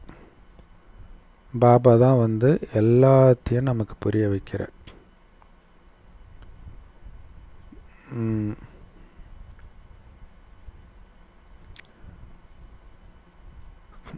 என்ன ஆஸ்தியை நீங்கள் ஒவ்வொரு கல்பத்திலையும் அடையிறீங்களோ உங்கள் முயற்சிக்கு ஏற்ப அதே ஆஸ்தியைத்தான் மீண்டும் அடைவீங்க. அப்புறம் எதுக்கு நான் முயற்சி பண்ணணும்னு கேட்பாங்க. இப்போ நீங்கள் முயற்சி பண்ணி உயர்ந்த ஆஸ்தியை அடைந்திருந்தால் இதுக்கு முன்னாடியும் அப்படி அடைஞ்சிருப்பீங்கன்னு உங்களுக்கு சந்தோஷம் வரும். மீண்டும் மீண்டும் அடைவேன்ற சந்தோஷம் வரும். ஸோ புத்திசாலி அப்படி யோசிப்பாங்க. நான் தான் அப்படி இருந்தேன் லக்ஷ்மி நாராயணனாக. இப்போ கீழே இறங்கிட்டேன் அப்படிங்கிறதையும் நீங்கள் புரிஞ்சுக்கிட்டீங்க. பாபாவே சொல்கிறார் இதெல்லாம் நடக்கும் அதெல்லாம் நடக்கும் அப்படின்னு ஒன்று ஒன்றா சொல்கிறார் சிலர் சொல்கிறாங்க இல்லையா மாயை இப்படி வரும் உன்னை நினைக்க விடாது தவறான எண்ணங்கள் வரும் மோசமான கனவுகள் வரும் அஞ்ஞானத்தில் கூட அப்படி நடந்திருக்காது. அப்படிப்பட்ட கெட்ட கெட்ட எண்ணங்கள்லாம் வரும். எல்லாமே பாபா சொல்கிறார் சிலர் சொல்கிறாங்க பாபா நாங்கள் எவ்வளவோ முயற்சி பண்ணிட்டோம் பாபா ஆனால் எங்களால் நினைக்கவே முடியல பாபான்றாங்க. அதுக்கு அப்பா என்ன பண்ண முடியும்? அல்லது ஆசிரியர் தான் என்ன பண்ண முடியும்? நீங்கள் தான் முயற்சி பண்ணணும். சொல்லிக் கொடுக்கறது தான் பாபா பண்ண முடியும். என்னென்ன தப்பு பண்ணுறீங்கன்னு அவர் சொல்கிறாரு அதை நீங்கள் பண்ணிக்கிட்டே இருந்தனா அவர் என்ன பண்ண முடியும்? அந்த தப்பு பண்ணாமல் இல்லை நெருப்பு தொட்டால் கொதிக்குது. தொடாத அது நெருப்பு சுடுன்றாரு. கையை வச்சுக்கிட்டே கொதிக்குது கொதிக்குதுனால தான் அவர் என்ன தான் பண்ண முடியும்? அதுவும் பாவம் அவர் உடம்பு இல்லாதவர் வேறு. ஒருத்தர் படிக்கவே மாட்டேன்னு வைராக்கியமாக இருக்கிறவர் ஆசிரியர் என்ன பண்ண முடியும்? ஆசிரியர் ஆசீர்வாதம் கொடுத்துட்டா எல்லோரும் பாஸ் ஆகிடுவாங்களே அதனால் இங்கே ஆசிரியர் ஆசீர்வாதம் கொடுக்குற வேலையெல்லாம் கிடையாது. நீங்கள் படிக்கிறதுல வித்தியாசம் இருக்குது. அதனால் உங்களுடைய பதவியிலும் வித்தியாசம் இருக்குது. அதிலும் இது முற்றிலும் புத்தம் புது படிப்பு. அதிலும் குறிப்பாக இங்கே உங்ககிட்ட வரவங்க எல்லாம் ஏழைகளாகவும் துக்கத்தில் நிரம்பியவர்களாகவும் தான் பெரும்பாலும் இருப்பாங்க. பணக்காரர்கள் பெரும்பாலும் இங்கே வரமாட்டாங்க. இல்லை பணக்காரர்கள் வர்றதெல்லாம் ரொம்ப கஷ்டம். யுக்தியாக வர வச்சுருப்பாங்க. ஒரு விஐபியாக கூப்பிட்டு ஞானத்தை கொடுத்து அது சில சமயம் டச் ஆகிடும் மனிதர்கள் துக்கமாக இருக்கிறதுனால தான் இங்கே வராங்க. பணக்காரர்கள் என்ன நினச்சிட்டு இருக்கிறாங்க? ஆல்ரெடி அவங்க சொர்க்கத்தில் இருக்கிறதாக நினச்சிட்டு இருக்கிறாங்க. அப்போ அவங்களுடைய அதிர்ஷ்டத்தில் இல்லை. யாருக்கு வந்து அதிர்ஷ்டம் இருக்குதோ யாருடைய அதிர்ஷ்டத்தில் இருக்குதோ அவங்களுக்கு உடனடியாக இதன் மீது நிச்சய புத்தி வந்துடும். வந்திருக்கிறது கடவுள் தான் அவர் கொடுக்கறது தான் சத்தியமான ஞானம். இனிதான் சொர்க்கம் வரப்போகுது. அப்படின்னு யாருக்கு வரும்? யாருக்கு அதிர்ஷ்டம் இருக்குதோ அவங்களுக்கு தான் வரும். ஏன்னா இதை யாரும் எதுவுமே பண்ண முடியாதே. போடா கடவுளே இல்லை அப்படின்னு சொல்கிறவங்ககிட்ட நம்ம என்ன பண்ண முடியும்? பாபா சொல்கிறார் இது இது ரொம்ப சூப்பரான லைன். ஒரு வினாடியில் சந்தேகம் வந்துடும்னுவாங்களே அதேமாதிரி ஒரே வினாடியில் நிச்சய புத்தியும் வந்துடும் பாபா குழந்தைங்க எல்லாம் ஒரு வினாடியில் நிச்சய புத்தியில் வந்தவங்க தான். இல்லை திடீர்னு ஒரு ஸ்பார்க் நிச்சய புத்தி வந்துடும் ஒரு சிலருக்கு சந்தேக புத்தி வருது. அது காரணம் வந்து பாபா சொல்கிற மாதிரி நடக்காமல் வீண் விஷயம் விகார விஷயம் தேவையில்லாத தொடர்பு இதில் போய் அந்த மயக்கத்தில் இருக்கும்பொழுது அந்த மயக்கத்தை விட மனசு வராமல் ஏன் பாபா சொல்கிற தப்பாக கூட தான் இருக்கும்ன்ட்டு போயிடுவாங்க.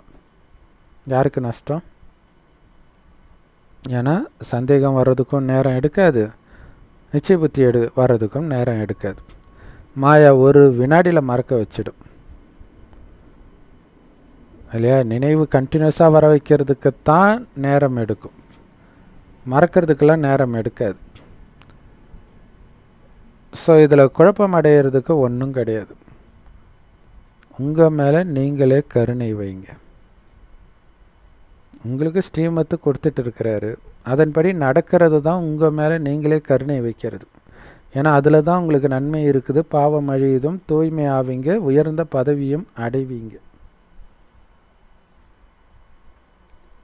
ஸோ பாபா வந்து ஸ்ரீமத் கொடுக்குறார். ரொம்ப ரொம்ப ஈஸியானது சொல்கிறார் கஷ்டமானதே கிடையாது. ஆத்மான்னு ஒன்று வந்து என்ன நினைவு பண்ணிக்கிட்டே இரு இதில் தான் எல்லாமே இருக்குது. இது வந்து மரண லோகம்னு உங்களுக்கு தெரியும். நம்ம போக போகிறது தான் அமரலோகம். அதுக்கு தான் நினைவு பண்ணிக்கிட்டே இருங்க. என்னையும் அந்த அமரலோகத்தையும். அங்கே திடீர் மரணமே இருக்காது. எதுக்கு சொல்கிற இதை? நினச்சி பாருங்கன்ற. இன்றைக்கி நாற்பது வயதை தொட்டாலே மரண பயம் வந்துடுது எல்லாருக்கும். ஆக்சுவலி திருமணம் ஆனாலே வந்துடுது. அதனால தானே எடுத்த உடனே இன்சூரன்ஸ் எடுத்துடுறாங்க. ஸோ மரண பயம் வந்துடுது எல்லாருக்கும். தனியாக இருக்கிற வரைக்கும் அதை பற்றி கவலைப்பட மாட்டோம். மரணம் வந்தால் கூட. பட்டு உறவுகள் வந்துடுச்சுன்னா அந்த பயம் இருந்துக்கிட்டே இருக்கும். ஆனால் சொர்க்கத்தில் இந்த பயமே இருக்காதுன்னா எப்படி இருக்கும்? யோசிச்சு பாருங்கள் திடீர் மரணமே இருக்காது. ஸோ வகுப்பறையில் மாணவர்களை வந்து வரிசைக்கிரமமாக உட்கார வைப்பாங்க. நல்லா படிக்கிற மாணவர்களை முன்னாடி உட்கார வைப்பாங்க. இதுவும் ஸ்கூல் தான். ஏன்னா நல்லா படிக்கிற மாணவனை பார்த்தால்தான் ஆசிரியருக்கு பாடம் எடுக்கணுன்னே தோணும். அதுக்காக தான் நல்லா அது ஜென்ரலாகவே நல்லா படிக்கிற பசங்க முன்னாடி வந்து உட்காந்துக்குவாங்க. அரட்டை அடிக்கணும்னு நினைக்கிறவங்க பின்னாடி போய் உட்காந்துக்குவாங்க. பாபா சொல்கிறார் இது கூட ஸ்கூலு தான். ஆசிரியர்கிட்ட கேட்பாங்கல்ல உங்கள் கிளாஸில் யார் நம்பர் ஒன் புத்திசாலி குழந்தைன்ட்டு? பாபா சொல்கிறாரு எந்த குழந்தை நல்லா படிக்குதோ அந்த குழந்தை வலது பக்கம் இருக்கணுன்ற அதாவது பாபாவுக்கு வலது கரமாக இருக்கணும். ஏன்னா வலது கரத்துக்கு தான் முக்கியத்துவம் இருக்குது. இல்லையா? வலது பக்கம் உட்காரணும்னு அர்த்தம் கிடையாது. வலது கரமாக இருக்கணும். ஏன்னா நல்ல காரியங்கள் பக்தி காரியங்கள் எல்லாமே வலது கையால் தான் பண்ணுவாங்க. குழந்தைங்க சொர்க்கத்தில் என்னென்ன இருக்கோன்றத நினச்சிக்கிட்டே இருக்கணும். சொல்கிறாரு பார்த்தீங்களா இதுதான் யோகா. சொர்க்கத்தில் என்னெல்லாம் இருக்குன்றத நினச்சிக்கிட்டே இருக்கணும். சீதை நினச்சிட்டு இருப்பாள்ல அயோத்தியை நினச்சிட்டு இருப்பாள்ல. ஸோ அந்த மாதிரி ராவணனுடைய சிறையில் இருந்துட்டும் அயோத்தியை நினச்சிட்டு இருப்பாள் ஸோ அந்த மாதிரி நாம் சொர்க்கத்தை நினச்சிட்டு இருக்கணும். இது ஆத்மாவின் விஷயம். ஆத்மா ஆரம்பத்தில் இருக்கும்போது எப்படி இருந்திருக்கும்? இப்போ கூட சில இடங்களில் வந்து மயில் பக்கத்தில் வர்றதை பார்க்குறோம் மான் பக்கத்தில் வர்றதை பார்க்குறோம் அங்கே எப்படி இருக்கும்? அங்கே சிங்கம் புலி கூட ஜாலியாக இருக்கும். ஸோ அதெல்லாம் நினச்சி பார்க்கணும். அங்கே இருக்கக்கூடிய மனிதர்கள் இப்போ இந்த ஏஐ வந்த பிறகு லக்ஷ்மி நாராயணன் படம் தேவதைகள் படம்லாம் அவ்வளோ அழகாக உருவாக்குறாங்க. இதுக்கு முன்னாடி அந்த வரைஞ்சதெல்லாம் அந்த அளவுக்கு அழகாக உருவாக்க முடியாது இல்லையா? ஸோ அதனால தான் பாபா சொல்கிறார் அதை நினச்சிக்கிட்டே இருக்கணும். அப்போ தான் அங்கே எப்படி வந்து ஒரு பொண்ணு லவ் பண்ணுறா அப்படின்னா எப்படா அந்த பையன் கூட போய் வாழ்க்கை நடத்தணும்னு தோணும். அப்போ அவள் கற்பனை பண்ணிகிட்டு இருப்பாள் மா அந்த பையன் வீட்டிலையே வாழற மாதிரியே கற்பனையிலே வாழ்ந்துட்டுருப்பாள் ஸோ அதனால் அவளுக்கு அந்த வீட்டுக்கு போகிறது வந்து ஐயோ அப்பா அம்மா வீட்டை விட்டு போருமேன்ற ஃபீலிங்கே இருக்காது. ஜாலியாக போவாள் அதைத்தான் பாபா பண்ண சொல்கிறார் சொர்க்கம் உங்கள் மாமியார் வீடுன்றார். போயிட்டு போயிட்டு வாங்க இப்போன்றார். ஸோ அப்போ தான் உங்களுக்கு இந்த வீட்டை இந்த கலியுகத்தை விடுறது கஷ்டமாக இருக்காது ஆனந்தமாக இருக்கும். ஏன்னா இது கஷ்டம் நிரம்பிய உலகம் இந்த கலியுகம். அது ஆனந்தம் நிரம்பிய உலகம். அதை நினச்சிக்கிட்டே இருந்தால் தான் உங்களுக்கு ஜாலியாக இருக்கும். இல்லையா? Love you Baba. அங்கே ராமாயணத்தில் சீதை என்னை எப்படா ராமர் கூட்டுட்டு போவான்னு தவம் கிடப்பா. ஆனால் இங்கே இருக்கிற மக்கள் ஐயோ என்னை இட்டுட்டு போயிடாதீங்க நான் இங்கேயே இருக்கிறேன் இங்கேயே இருக்கிறேன். எங்கே? ராவணன் சிறையிலே இருக்கிறேன்னு சொல்லிட்டு இருக்கிறாங்க. எவ்வளோ வித்தியாசம் பாருங்கள் அதுக்கு தான் பாபா புரிய வைக்கிற நீ இருக்கிறது ஜெயிலுடா நரகண்டான்றார் ஏற்றுக்க மாட்டாங்க. இது எப்படி நரகம்? நரகம்லாம் வேறு இடம் தெரியுமா? குரானில் போட்டுல தெரியுமா இது நரகம்னு? அப்படின்னு முஸ்லீம் சொல்லுவாங்க. அப்போ எதுக்கு பாலஸ்தீனை காப்பாற்றுங்கன்னு போடுறீங்க? அவங்க நரக வேதனை அனுபவிக்கிறாங்கன்னு தெரியுதில்ல. அப்போ இதை விட நரகம் ஏதாவது இருக்கும் இருக்கும்னு எதிர்பார்க்குறீங்களா? ஸோ அதனால தான் சொர்க்கத்தை நினச்சிக்கிட்டே இருங்க. சொர்க்கத்தை நினச்சிக்கிட்டே இருந்தீங்கன்னா உண்மையான பாபாவையும் நினைப்பீங்க. ஏன்னா அவர் தானே கொடுக்குறாரு. அப்போ அந்த நன்றி இருக்கும். ஏன்னா சொர்க்கத்துக்கு போன பிறகு பாபா தான் கொடுத்தாருன்னு உங்களுக்கு தெரியாது. நன்றி தெரிவிக்க முடியாது. இப்போவே தெரிவிச்சிடுங்க. இப்போவே தெரிவிச்சிடுங்க. பக்தியில் சொல்கிற நன்றியெல்லாம் அடைந்ததுக்கான நன்றி. ஆனால் நாம் இப்போ கொடுக்குற நன்றி அடைய போகிறதுக்கான நன்றி அடைந்து விட்டதாகவே நினைத்து நன்றி சொல்கிறோம் ஏன்னா அடைஞ்சிட்டா மாதிரி தான். கொடுக்கறது பாபா. இல்லையா? அந்த நன்றி சொல்லி அந்த மகிமை பாடிக்கிட்டே இருக்கணும் மனதுக்குள்ளே. ஸோ அப்போ சொர்க்கத்தை நினைக்க நினைக்க ஆஹா எவ்வளோ பரிசுத்தமான உறவுகள். கலியுகத்தில் எவ்வளோ குப்பையாக இருந்தேன் நான். ஒரு சாதாரண பொண்ணை பார்த்தா கூட இச்சையாக பார்க்குறது சின்ன குழந்தைய கற்பழிக்கிறது நர்ஸை கற்பழித்து குழப்ப அந்த மாதிரி குப்பையில் இருந்த எண்ணெய் மகாலட்சுமி பக்கத்தில் உட்கார வச்சா கூட சலனமாகாமல் இருக்கிற மாதிரி மாற்றிட்டிய பாபா அப்படின்னு நினைங்க. மகாலட்சுமி யார்? இந்த உலகத்தின் நம்பர் ஒன் பேரழகி. அவங்க பக்கத்தில் இருக்கும்போதே சின்ன சலனம் இல்லை. காசுக்காக எதையும் பண்ணிகிட்டு இருப்பாங்க பொண்ணுங்கன்னுவாங்க. இல்லை பையனே அப்படி தான் செலக்ட் பண்ணுவாங்க. அப்படிப்பட்டவளாக இருந்த என்ன உலகத்தின் மிகப்பெரிய பணக்காரனும் ஆணழகனுமான நாராயணனை கணவனாக இருக்கும் பொழுதே எனக்கு அதன் மீது ஆசை இல்லாமல் இருக்கிற மாதிரி என்னை பண்ணிட்டிய பாபா? அப்படின்னு நன்றி தெரிவிங்கள். இந்த மேஜிக் வேறு யார் பண்ண முடியும்? ஸோ அதுக்கு தான் சொல்கிறார் எதுக்கு வேலை இல்லாமல் சொல்கிற சொர்க்கத்தில் இது இருக்கும் அது இருக்கும்னு அதை நீங்கள் நினச்சி பார்க்கணும். அப்போ பாபாவையும் நினைப்பீங்க. அந்த சொர்க்கத்தின் எஜமானர்களாக மாத்துறாரு நம்மளை. சும்மா சொர்க்கத்துக்கு அழைச்சிட்டு போகிறது மட்டும் கிடையாது. ராஜாவாக்குறார் அதுக்கான ஞானத்தை கொடுக்குறார். நாம் அலட்சியத்தினால விட்டால் தான் உண்டு. அங்கே போன பிறகு உங்களுக்கு எப்படி ராஜ்யம் கிடைக்கும்னு தெரியாது இல்லை அப்போ நன்றி சொல்ல மாட்டீங்கல்ல? இப்போ சொல்லுங்கள் கோடி முறை கோடானு கோடி முறை நன்றி பாபா நன்றி பாபா சொல்லிக்கிட்டே இருங்க. சம்பந்தமே இல்லாமல் கிறிஸ்தவர்கள் ஸ்தோத்திர ஆண்டவர் ஸ்தோத்திரம் ஆண்டவர் என்ன பண்ணிட்டாரு ஸ்தோத்திர ஆண்டவர் பிரேஸ் தி லார்டு அவங்க சொர்க்கத்துக்கே வரல கடவுள் பரிச்ச சொர்க்கத்துக்கே வரல கண்ணை மூடிட்டு சொல்கிறாங்க ஆனால் நமக்கு ஒரிஜினல் சொர்க்கத்தை கொடுக்குறாரு ஆனால் நம்ம என்னைக்காவது நன்றி சொல்லிக்கிட்டே இருக்கிறோமா? மெய் மறந்து. அந்த சொர்க்கத்துக்காக. இங்கே துக்கத்துலேருந்து காப்பாற்றினதுக்கு மேபி நீங்கள் சொல்லியிருக்கலாம். பட்டு சொர்க்கத்தை கொடுக்குறார் சொர்க்கத்தின் மகாராஜா மகாராணி ஆக்குறார். மகாலட்சுமிக்கு கல்யாணம் பண்ணி கொடுக்குறார். மகாவிஷ்ணுக்கு கல்யாணம் பண்ணி கொடுக்குறார். நன்றி சொல்லியிருக்கிறீங்களா? அங்கே போனப்புறம் மறந்துடுவீங்க. இப்போ சொல்லுங்க. அதனால்தான் பாபா சொல்கிறார் லக்ஷ்மி நாராயணனுக்கே இந்த ஞானம் இருக்காது.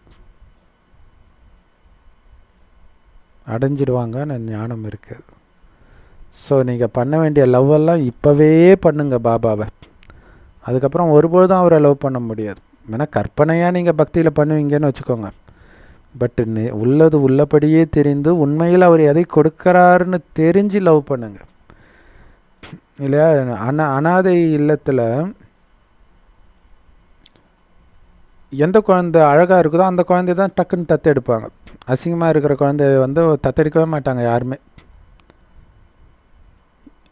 அப்படி இருக்கிறதுலையே அசிங்கமாக இருக்கிறவங்க நம்ம. நம்மளை தத்தெடுக்கிறார். உலகத்தின் அதிபதி தத்தெடுக்கிறார். எவ்வளோ கொடுத்து வச்சிருக்கணும் எவ்வளோ நன்றி சொல்லணும் அவருக்கு. அப்படி தத்தெடுத்து தான் என்னை லக்ஷ்மி நாராயணன் ஆக்கினாருன்றதே அவங்களுக்கு தெரியாது. பாபா எல்லாத்தையும் ரொம்ப அழகாக புரிய வைக்கிறார் குழந்தைக்கு புரிய வைக்கிற மாதிரி. இருந்தாலும் முந்தைய கல்பத்தில் யார் புரிஞ்சுக்கிட்டாங்களோ அவங்க தான் இப்போவும் கண்டிப்பாக புரிஞ்சுக்குவாங்க. இருந்தாலும் நீங்களும் முயற்சி பண்ணணும். பாபா புரிய வைக்கிறதே போதும். முரளி ஒரு தடவை கேட்டாலே போதும். கிடையாது. அதை நீங்கள் சிந்தனை பண்ணிக்கிட்டே இருக்கணும். அப்போ தான் மாற்றம் வரும். இல்லைன்னா எத்தனை வருஷம் ஆனாலும் மாற்றம் வராது. ஸோ பாபாவே வந்து உங்களுக்கு இந்த ஞானத்தை சொல்லி கொடுக்குறார். இது படிப்பு. இதை புரிஞ்சிக்கிறதுக்கு ரொம்ப புத்தி தேவை. நாமரி முரளி. இனிமையான முரளி சொன்ன இனிமையான பாபாவுக்கு அன்பான குழந்தைகளுடைய அன்பு நினைவுகள் மற்றும் காலை வணக்கம். இந்த ஆன்மீக படிப்பு இருக்குது. ரொம்ப ரொம்ப ரொம்ப ரொம்ப உயர்ந்த படிப்பு. அப்படின்னாலே கண்டிப்பாக கஷ்டமாகும் இருக்கத்தான் செய்யும். ஸோ அதில் பாஸ் ஆகணும் அப்படின்னா ஆசீர்வாதம் வாங்கணும் பாபா கிட்ட. எப்படி? அவர் நினைவிலேயே மூழ்கி இருப்பதன் மூலம். உங்களுடைய நடத்தையை சீர்திருத்திக்கிறதன் மூலமாக. ஸோ அப்போ தான் மதிப்போடு தேர்ச்சி அடைய முடியும். சட்டத்துக்கு புறம்பான எந்த காரியத்தையும் இப்போ பண்ணாதீங்க. எதை இழப்பதாயிருந்தாலும் பரவாயில்லை பாபா ஸ்ரீமத்தை மீற மாட்டேன்னு இருங்க. இல்லையா? ஹரிச்சந்திரன் தன் மகன் மீது உள்ள பற்றுனால தான் போய் சொல்கிறார் ஸோ அதுக்கப்புறம் யாராக இருந்தாலும் சரி ரூல்ஸ் ரூல்ஸ் தான்ட்டு ஃபாலோ பண்ணுறார் ஸோ ஏன்னா இங்கே இழக்கிறது எல்லாம் உங்களுக்கு பல மடங்காக திரும்ப வரும் அதை புரிஞ்சிக்கணும். கடைசியில் ஹரிச்சந்திரன் நேர்மையாக ஸ்ரீமத் படி நடக்கிறதுனால தான் கடைசியில் இழந்த ராஜ்யம் மனைவி இறந்த மகன் எல்லாம் மீண்டும் வராங்க. அது மாதிரி ஐந்தாயிரம் வருடத்துக்கு முன்னாடி இழந்த அத்தனையும் நாம் அடைய போகிறோம் அதனால் பாபா சொன்ன ஸ்ரீமத் படி நடங்க. முக்கியமான ஸ்ரீமத் நிராகார நிலையில் நிலைத்திருங்கள். நிராகார தர்மம் அந்த ஸ்வதர்மத்தில் நிலைத்திருங்கள். தேகத்தின் தர்மத்தில் நிலைத்திருக்காதீங்க. அந்த நிராகார தந்தையின் சட்டத்தின்படி ஸ்ரீமத் படி நடங்க. வரதானம். பாபாவுடைய துணையை எப்பொழுதும் வைத்திருப்பதன் மூலமாக தூய்மை என்ற உங்களுடைய சுயதர்மத்தை சகஜமாக பின்பற்றக்கூடிய மாஸ்டர் சர்வசக்திவான் ஆகுங்கள். அதுக்கு விளக்கம் ஆத்மாவுடைய சுய தர்மமே தூய்மை தான் ஒரிஜினல் தர்மம். தூய்மை தான் அதான் உங்களுடைய உன்னுடைய ஸ்வதர்மத்துக்காக போராடு யுத்தம் செய் அப்படின்னு அர்ஜுனனை பார்த்து கிருஷ்ணர் சொல்லுவார் மகாபாரத யுத்தத்தில். ஸோ அது தூய்மைக்கான யுத்தம். மற்றபடி அசுத்தம்ன்றது பரதர்மம் ராவணனுடைய தர்மம் வெளிப்புற தர்மம் உங்களுடைய தர்மம் கிடையாது. அது தேகத்தின் தர்மம். எப்போ சுயதர்மத்தின் மீது உங்களுக்கு நிச்சய புத்தி இருக்குதோ அப்போ பரதர்மம் உங்களை அசைக்காது. தேகத்தின் தர்மமோ மற்றவர்களுடைய தர்மமோ உங்களை அசைக்காது. சுற்றி நடக்கிற எதுவுமே உங்களை அசைக்காது. எப்போ? நான் பரம பவித்திர ஆத்மா. காமம்ன்ற அழுக்கோ கோபம்ன்ற அழுக்கோ பற்றுன்ற அழுக்கோ பேராசைன்ற அழுக்கோ அகங்காரன்ற அழுக்கோ கொஞ்சம் கூட ஒட்டாத ஆத்மா நான். அப்படின்னு சதா ஞாபகம் இருந்தால் வெளியில் இருக்கிற அழுக்கு உங்களை கொஞ்சம் கூட ஆட்டம் காண வைக்காது. அதுலேயும் குறிப்பாக பாபாவை துல்லியமாக அடையாளம் கண்டுக்கிட்டு அவரை உங்கள் கூடவே வச்சுருக்கிறீங்க நாளை அப்படின்னா இந்த சுயதர்மம் தூய்மை இருக்குதே இதை தாரணை பண்ணுறது ரொம்ப ரொம்ப ஈஸி ஏன்னா உங்கள் துணைவர் யார்? சர்வசக்திவான் சிவபாபா. அப்போ சர்வசக்திவானை துணைவனாக கொண்ட மாஸ்டர் சர்வசக்திவான் முன்னாடி அழுக்கு வரவே முடியாதுன்றார். ஒருவேளை உங்களுடைய எண்ணத்தில் மாயா வந்தால் கூட ஏதோ ஒரு கேட்டை திறந்து வச்சிட்டிங்க மாயா வர்றதுக்கு. அல்லது பாபா மேலே உள்ள நிச்சய புத்தியிலேயோ உங்கள் சுய தர்மத்தின் மீது உள்ள நிச்சய புத்தியிலையோ குறை இருக்குது. ஹண்ட்ரட் பர்சன்ட் நிச்சய புத்தி இல்லை. இல்லையா? அந்த உறுதித்தன்மை நிச்சய புத்தியில் இருக்கக்கூடிய உறுதித்தன்மை இல்லைன்னு அர்த்தம். அப்போ தான் மாயா வருது.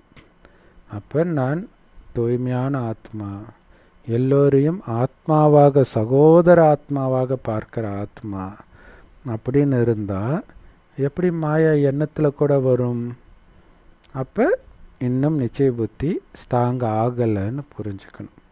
அப்போ ஸ்ட்ராங் ஆக்கணும். எப்படி ஆக்குறது? பாபாவை எப்பவும் துணைவனாக வச்சுருங்க. பாப் தாதாவை ரெண்டு பேரையும் சேர்த்து வைங்க. ஏன்னா சிவபாபா மேலே கூட அந்தளவுக்கு பயம் இருக்காது மனிதர்களுக்கு. கடவுள் தானே எல்லாம் தான் தெரியுமே. ஆனால் பிரம்ம பாபா மனிதனாக இருந்து போனவர் இல்லையா? அதனால் பயம் இருக்கும். மனுஷன் முன்னாடி நம்ம தப்பாக நடந்துக்க மாட்டோம்ல. ஸோ எப்போவுமே பாப் தாதா கூடவே இருந்தீங்க அப்படின்னா மாயை வராது அழுக்கு வராது அப்படின்னு பாபா சொல்கிறார் ஸோ சுய தர்மம் அமைதியை எந்த காரணத்தை கொண்டும் விட்டு கொடுக்காதீங்க. அதன் மீது அசைக்க முடியாத நிச்சய புத்தி வச்சிங்கன்னா வெளியில் உள்ள எதுவும் உங்கள் மனதை சஞ்சலப்படுத்தாது. அப்போ நான் பரம பவித்ர ஆத்மா வெறும் பவித்திரன் இல்லை பரம பவித்ர ஆத்மா. பவித்திரன்னா தூய்மை பரம தூய்மை. அப்படி இருக்கணும். ஸ்லோகனில் பாபா சொல்கிறாரு யார் முக்காலத்தை உணர்ந்தவராக இருக்கிறாங்களோ அவங்க எதையுமே ஒரு காலத்தை கொண்டு பார்க்க மாட்டாங்க. மூன்று காலத்தையும் யோசிக்கும்போது அவங்களுக்கு தெரியும் எல்லா சூழ்நிலையிலும் கண்டிப்பாக நன்மை இருக்குதுன்ட்டு. ஏன்னா இந்த நாடகத்தில் நன்மை இல்லாத ஒரு சீன் கூட இருக்காது. ஸோ இப்போ அது தீமை மாதிரி இருக்கும் அதில் நன்மை இருக்கும். இல்லை மரணமே கூட. ஒரு ஏழை ஏதோ ஒரு கொடூரமாக கூட இறக்குறாருன்னு வச்சுக்கோங்க. அதோட அந்த பாவத்துக்கான தண்டனை முடிஞ்சு போய் பணக்கார குடும்பத்தில் பிறப்பார். ஸோ அதுலேயும் நன்மை இருக்குது பாருங்கள் ஸோ அதுலேயும் கொஞ்சம் ஏற்று ஏற்று பேசும்போது தான் தண்டனை அதிகமாகும். அதை அமைதியாக ஏற்றுக்கிட்டாங்கன்னா தண்டனை ரொம்ப கம்மியாக வேற இருக்கும். ஸோ அப்படி ஏற்றுக்கிறதுக்காகத்தான் முக்காலத்தை உணர்ந்த ஞானியாக இருங்கள். ஒரு காலத்தை மட்டும் பார்த்து டென்ஷன் ஆகாதீங்க. இல்லையா? ஒரு ஒரு ஒரு ஒரு பிரச்சனைக்குள்ளேயும் மகாலட்சுமி இருக்கிறா. செல்வத்தை கொட் சுமந்து கொண்டு.